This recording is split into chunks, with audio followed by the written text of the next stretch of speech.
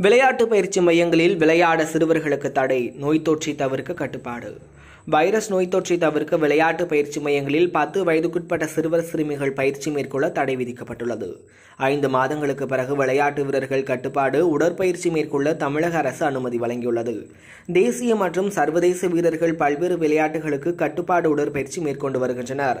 பயிற்சி மையங்கள் விளையாட்டு மைதானங்களில் வீரர்கள் பயிற்சி தொடங்கும் முன் வெப்பமானி சோதனை செய்யப்படுகிறது. இரண்டு மீட்டர் சமூக இடைவெளியுடன் பயிற்சி மேற்கொள்ளப்படுகிறது. விளையாட்டு வீரர்களின் உபகரணங்களை பிற வீரர்கள் பயன்படுத்த பயன்படுத்தக்கூடாது என்கின்ற பல்வேறு கட்டுப்பாடுகள் உள்ளன.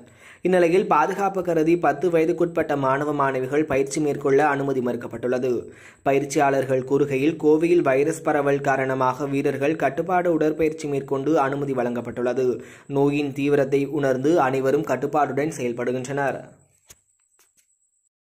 இப்போதைக்கு கார்பரேஷன் கிரவுண்டில் சமூக இடைவெளியுடன் மாசெல்லாம் எல்லாம் ஒரு அணைந்து இப்போ ஒரு பதினஞ்சு வயசுக்கு மேலே இருக்கவங்க மட்டுமே இப்போ வந்து ப்ராக்டிஸ் வந்துட்டு இருக்காங்க இன்னைக்கு விளையாட்டு துறையிலும் இந்த கொரோனா தொய்வுங்கிறது வந்து உண்மை. அது வந்து எந்தவித மாற்று கருத்தும் கிடையாது. ஏன்னா நல்லாவே தெரியுது. என்ன ஸ்டூடெண்ட்ஸ்க்கே தெரியுது. கிட்டத்தட்ட ஒரு அறுபது பேர் எழுபது பேர் என்னோட ஸ்டூடெண்ட்ஸ் வரவே வருவாங்க. இப்போ நாங்கள் கொஞ்சம் கண்ட்ரோல் பண்ணி ரெண்டு குரூப்பாக வர சொல்லியிருக்கோம். அதுலேயே வந்தாவே பார்த்தா ஒவ்வொரு குரூப்பில் வர்றதில்ல. ஏன்னா அவங்களுக்கு இன்னும் அந்த ஆர்வம் வந்து கொஞ்சம் கம்மியான கம்மின்னு சொல்ல முடியாது.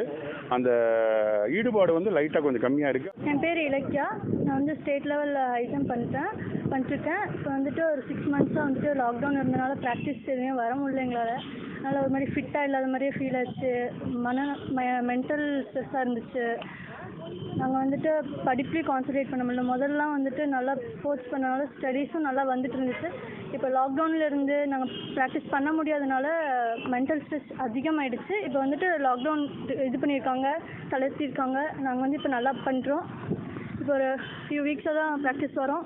நல்லா போயிட்டுருக்கு ப்ராக்டிஸ் இப்போ வந்துட்டு நாங்கள் கார்ப்பரேஷன் கிரவுண்டில் ப்ராக்டிஸ் பண்ணிகிட்ருக்கோம் அடுத்து வந்து ஸ்டேடியம் தரேன்னு சொல்லியிருக்காங்க. ஸ்டேடியம் வந்து வித்தின் ஒன் வீக் கிடச்சிரும்னு நம்புகிறோம் ஸ்டேடியம் கிடச்சுன்னா இன்னும் கொஞ்சம் கூட பெட்டராக பண்ண முடியும். எங்களால் மெடல் பண்ண முடியும். எப்படி இந்த வருஷம் இல்லைனாலும் இந்த ஃபிட்னஸ்க்காகவும் நல்லா அடுத்த வருஷம் மெடல் பண்ணுறதுக்காக ப்ராக்டிஸ் பண்ணுறதுக்காகவும் நாங்கள் ஸ்டேடியம் வந்துட்டு ஃபார்ம் எழுதி கொடுத்துருக்கோம்.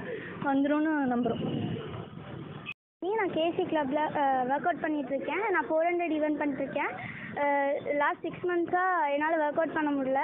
லாக்டவுன் இருந்தது. ரொம்ப மென்டலாக ஸ்ட்ரெஸ் ஆச்சு. இப்போ கிரவுண்ட் திறந்துருக்கறதுனால மைண்டெல்லாம் ரிலாக்ஸ் ஆகிருக்கு நல்லா கான்சென்ட்ரேட் பண்ண முடியுது.